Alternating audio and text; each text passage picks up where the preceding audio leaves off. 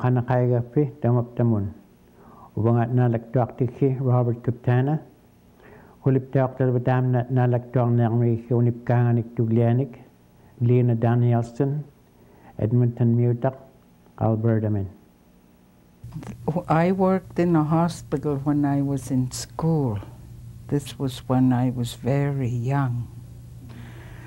When when you didn't go to school anymore, then they had to find something for you to do. And that's what I did. That's what a lot of kids did. Or you scrubbed floors or anything that was, you know, needed doing. You worked in the kitchen. I didn't mind the kitchen because the cook that was there, she made us cook things sometimes, not just scrub pots and wash floors. How long did you live in Tuk for? 15 years. And then you moved to. Then I left Tuk and I married my second husband and moved to Hay River. And you lived there for. I left Hay River for a year before I moved out here, and I've been out here nearly four years. I uh, moved to the cabin when my when my husband bought a home for our grandson who lives out here to be with him. And I'm not a city person, so I went to the cabin with the intention that I'd come and spend some time out here, and they'd also come and spend time at the cabin, which was good, which was a very good way of life if it could have happened. But not too long after that, my husband was diagnosed with cancer. So I, I took care of him. And I know a lot of people have lost family through cancer. It's not an easy thing. So, whoever you are, enjoy your partners. But some of the things that happened while I lived in Tuk, I met the Queen and her whole family. My my family met the Queen and her whole family, and then I went to Coppermine and met uh, the Governor General Michener and his wife, and I became her lady in waiting. So I've I've had a very interesting life. It's never been boring, and I like to sew anything and everything. At the moment, I like doing beadwork. I'd like to start making uh, beaded pictures more than it's so expensive to buy moose hide now so i thought well why not make beaded pictures or make uh, quilts but a different kind of quilt not something that you see all the time. So maybe when I finish one, then then I'll talk about it. Otherwise, I'll give ideas to somebody else. you know, women. you know, women. They don't like to give their sewing secrets away. Something else we used to love doing was. Uh, in Read Island was Christmas and Easter's were beautiful times. The women would sew from about the middle of September to get everything ready for each member of the family so everybody had new shoes, not shoes, mucklucks kaukat, and parky covers. Same with the men. And then the square dancing that went on all night. Did you like to dance? Oh yes, very much. What Johnny was. I liked to jig. Johnny was a good dancer, so, and I liked the square dancing too. And then, then the older people with their drums would come. So what we used to do was we'd miss having a square dance one night, so we could watch the drum dancing, and the older people would do that, and there was always plenty to eat. There was a man by the name of Outlatak. He impressed me the most. My uh, Auntie June Klinkenberg, that's her dad. They used to put this headdress on. It had a two-leg beak. Ruby? Yeah. And some other things on it, and they would sing, you know, special songs and beat on the drum. And he impressed me more than anybody else. I never understood what they were saying, though. To this day, I still don't understand the songs. I would watch my grandparents, my, not so much my grandfather, but my grandmother. She liked that. Lenam unipkang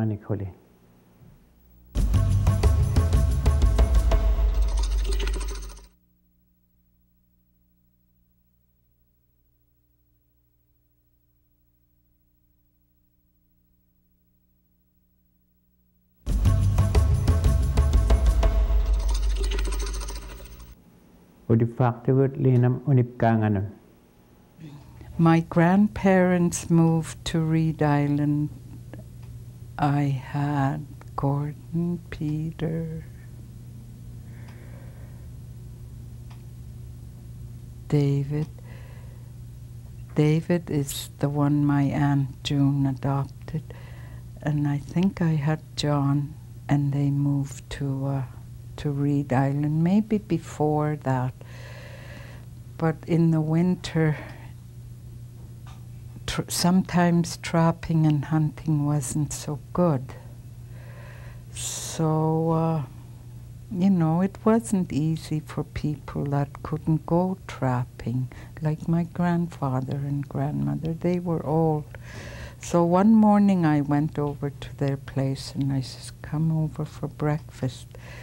And when they came, I says, you're not going back. I says, it's too cold in the tent where you're living. And uh, our house was big enough, so I built a sort of a bedroom for them. and they stayed with us. I really enjoyed them. You know, of all the people I've met in my life, they influenced me the most. They were so in love and so happy, yet they have they didn't have half of what we had today. They never wished for anything. And when I moved them to my house, I said, You can stay for as long as you like. I learned more from them too than from anybody else I'll ever learn from. And my grandfather died in S- Fort Smith. He had cancer in the stomach, so he was there for quite a few years. And in those years, the government still didn't bring people to die at home like they do now. Or you can visit family. They didn't do that then. Oh, I used to wish that I could take Grandma there. And before she died, she says, I need you to make me a promise. And I said, I'll do it. I didn't even know what it was. But I knew she wasn't going to ask for the impossible, not somebody who never wished for anything. She says, when you have grandchildren, I want you to name your grandfather and me, your grandmother, into one family. The same person must have us, and you can give us, give those names. So when Sally, my daughter, had a little girl, I asked her if it was okay to name her Nelika. That's my grandmother. And now she has a little boy, and that's Utwayo, my grandfather. And my grandmother says, You do that for me, and we'll be very happy because we'll be together. Nelika and Utwayo. I've told my kids that I was born in a snow house. They didn't believe that, but I was. And that was in Minto Inlet where you Mhm, in a snow yeah. house. Yeah, out on the ice. People being very nomadic then, following where the food was, the food source. If there was no caribou inland, then they'd stay closer to the ocean part because of the seals. And they were out on the ice in a snow house, and that's where I was born. Like to say hello to? I would love to say hi to Sarah Mangilana. I hope she's listening. Her and I were very, very good friends. And I think of her often, as I do a lot of other people, but I just hadn't spoken to her for so long. For us being so close, I haven't spoken to her for. When I was looking after my husband for three years here before he died, I, I lost touch with everyone except the immediate family. So, and to Joanne in Coppermine and Nivingalutkut, Ulukhaktomi Niriutkut, Inuit tamangmik nakulo he, ilautit katamaita saksaba milo. Inuin humilikak, Winnie, hi. and Bertha. Just take care of yourselves, keep good energy around you. And if you have to drag one leg like me when you're mowing the lawn, that's okay too. It still gets done. God bless you all and take care. Pwina nina laktua fiu lenam unipkanga udipagop tattau khuli. Innak yalunair miutak na laktua neriki anik unuk kanaktun inu niau timinik umwang me.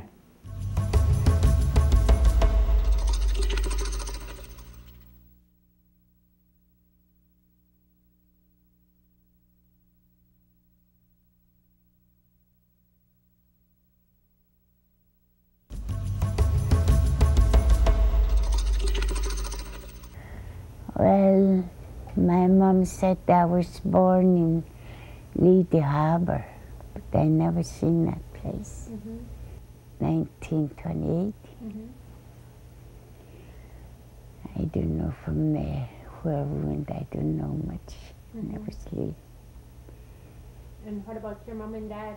Who is your mom and dad? My mom and dad was Rebecca and Isaac. And where where they stayed? They both died long. I don't know my dad. hmm While I was still little, my dad died.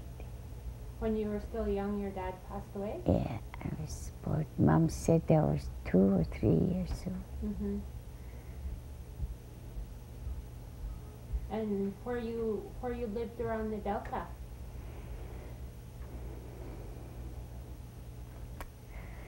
Well, I live here and there, I guess.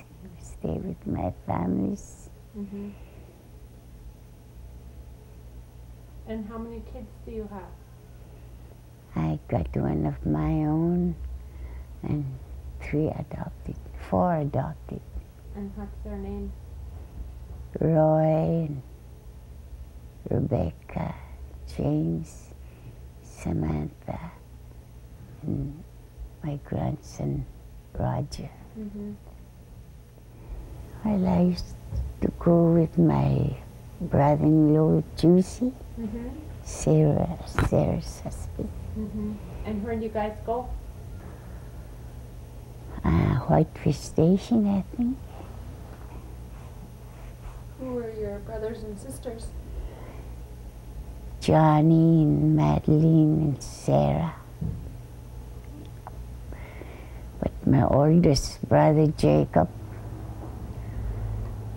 I saw him the first time and the last time in 1947.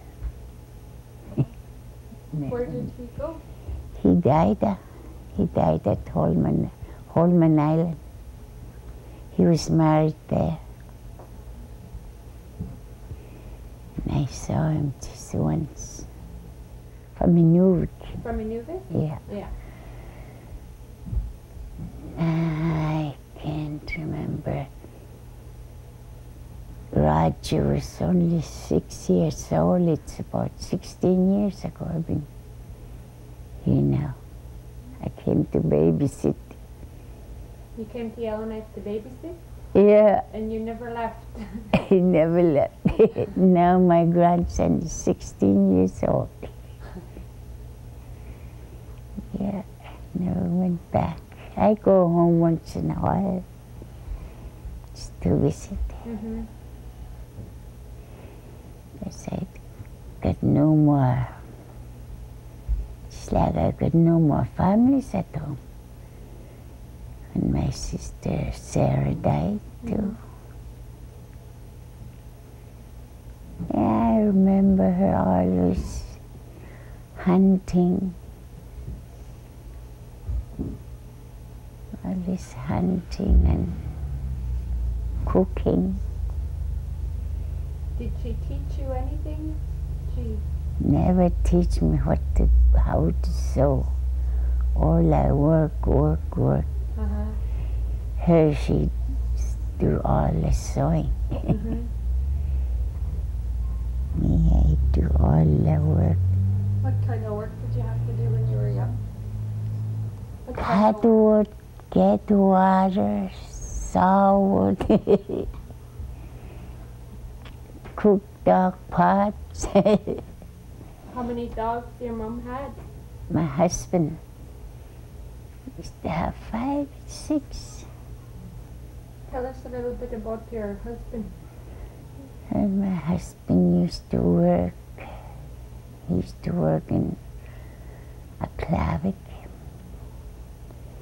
He used to work in All Saints School, All Saints Church, hospital. hmm What did he do at the hospital? At time, hospital and school, they use wood. hmm He keep the stove on all night. He used to be a night shift. hmm When did you meet him? I was forced to get married and I was Oh. 17 years old. Almost first time I saw him, I was, my brother forced me to get married. So you just met him and then you had to marry him. yeah, and I never stayed with him. I never sleep with him. I sleep with my mom.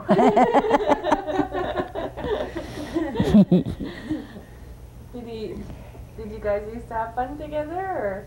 I never talked to him even. Oh, you're. I don't like him because I never seen him before.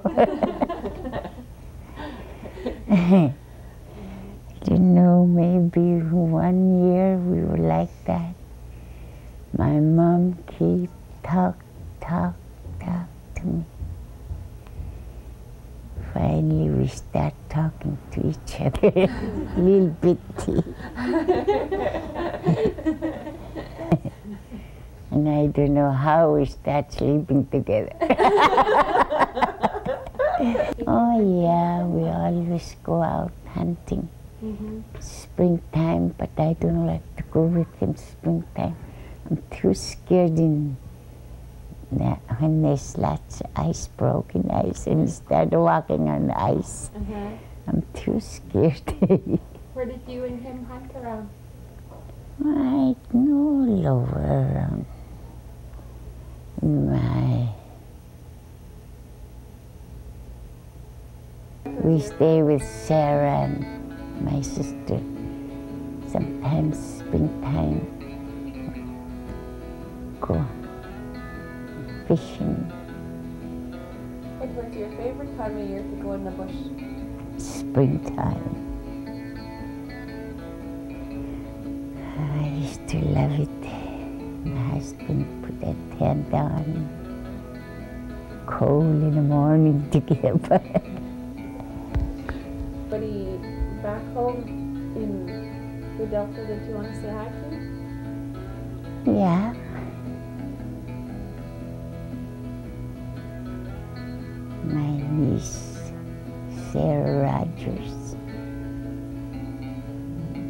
Winnie Ilanik. If I don't say their names, my friends, they couldn't say, you never think of me.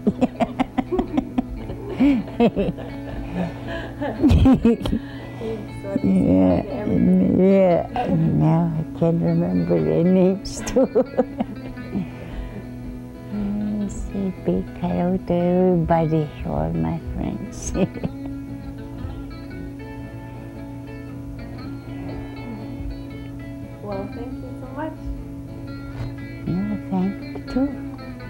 koina ni naalaktua pigik liina aaniluktua khuli talba taiman naalaktua laaniaqtuhe innarnik tamaptami uvanga oqartikki Robert Kuptana nakuuyuami kunnuiluhi